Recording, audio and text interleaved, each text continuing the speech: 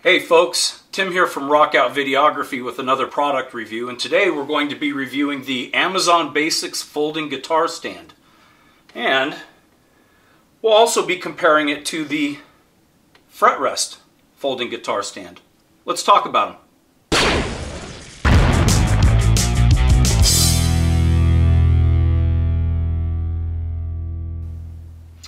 All right, so believe it or not, I actually have a lot to cover in this review, so I'm going to cheat and I'm going to use notes. Hopefully that doesn't bother you guys. So the reason that I bought this was I needed another guitar stand, and I've kind of I'm a fan of the folding guitar stand concept for reasons that we'll get into as we go along. Obviously, I ordered it from Amazon. It is, after all, the Amazon Basics folding A-frame guitar stand. And as you can see, the, the price was, it was reasonable. It's not expensive at all. So it was delivered by Amazon and it came in basically a, you know, your standard brown cardboard box. I did notice that there was just a little bit of damage, a little hole in the back, and that's probably just a result of part of the stand poking through as it was handled. No big deal though, uh, in spite of the fact that there wasn't any packing or anything inside the box. There was no damage. I didn't notice any scratches or anything on it, so it was fine. The width is adjustable by pushing a pin on the back. When you push the pin, you can fold the legs out and it's adjustable to several different widths, which can be important depending on what instrument it is that you decide to use on it. The legs fold out, so that's good. And it's it's pretty heavy duty. I like that. One of the things that you'll see if you read the reviews is that people complain about that some instruments don't fit. I didn't really have that issue. So, does it fit a P bass? Yeah, fits a P bass just fine. How about a jazz bass? I was a little worried about that. No, fits a jazz bass just fine. It even fits my Hofner bass. What about guitars? Does it fit a Stratocaster? Yeah, it'll fit a Stratocaster. How about a Telecaster? Yeah, it fits that too. What about acoustic guitars? Yes, this thing's really good for acoustic guitars. What about a banjo? Yeah, it fits the banjo. Do your kids have guitars? Are you worried that this thing won't fit your kids' guitars? Well, what if uh, your kid's got a three quarter scale or short scale bass? Yeah, it'll fit that. How about a left handed three quarter scale Telecaster? Yeah, fits that. It even fits the Daisy Rock acoustic guitar. No problems at all. You'll notice that a few of these instruments, though, had the, uh, the strap peg touching on the bottom but if you were to decrease the width of it with the adjustment, that probably wouldn't be a problem. One of the things that I like about this is the portability. It packs really flat and it's really small, which is really good. However, can you stick it in your guitar case? Nah, you can't. I tried several different ways to fit it in this P-bass case, and no matter what I did, I couldn't get it closed, so that's a no-go. However, one of the things that you can do with this, one of the things that I like about these folding guitar stands is that you can attach them to your gig bag by having a piece of Velcro sewn on it. That's really, really handy. So let's talk about these two stands and some of the differences between them, kind of the pros and cons, why you might pick one over another.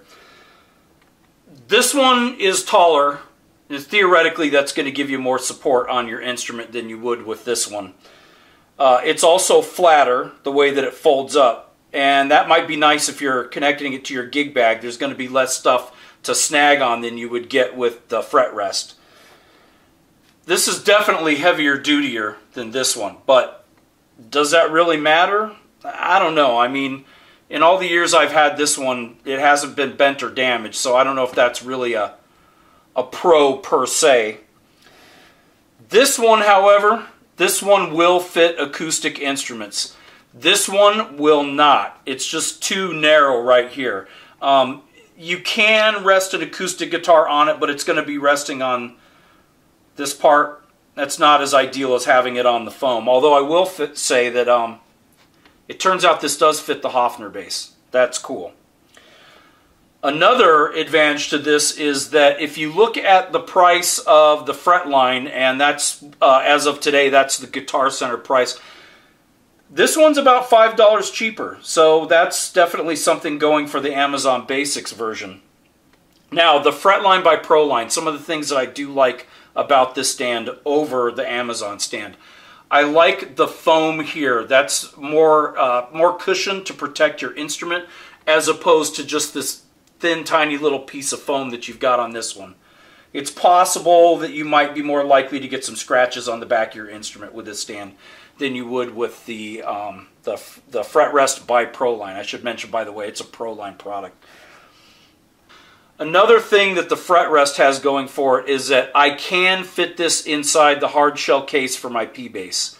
That's really, really nice. Whereas, again, the Amazon Basics, no matter what we tried, we couldn't get that one to fit. Will this fit in a hard shell guitar case? I don't know. I don't have one, so I wasn't able to test that. Let's take a look at the difference in these things as they're folded because it's kind of, uh, you know, which one you like better. With this one, it's flatter, but in some ways it's got a larger profile. So that might be something you like or you dislike. With the fret rest, it's just about as tall, but it is obviously a lot thinner or it's not as wide basically. However, you do have the hooks here, might catch on something unless you fold them up. If you fold them up, I don't know. I'm going to say this one's a lot more portable and snag free than this one is.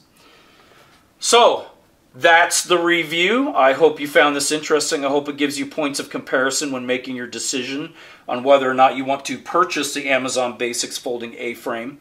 I think I would probably in the future, if I order any more folders, I'm probably going to go with the Fret Rest by Proline.